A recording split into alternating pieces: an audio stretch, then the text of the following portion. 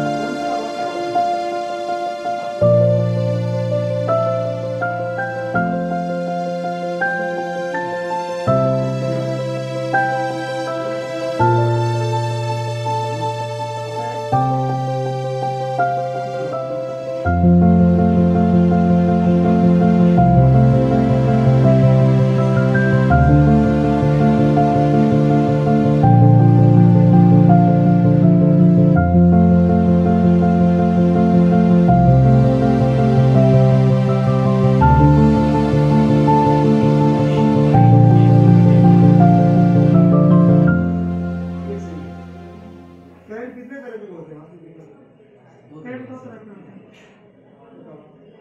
AC होता है DC होता है एसी डीसी क्या होता है DC current a current that always flow in one direction is called DC current. AC current uh, one point to another point is called alternating current. दोनों क्या फ़र्क है? दोनों में सर उसमें निगेटिव टू अपोजिट डायरेक्शन होता है.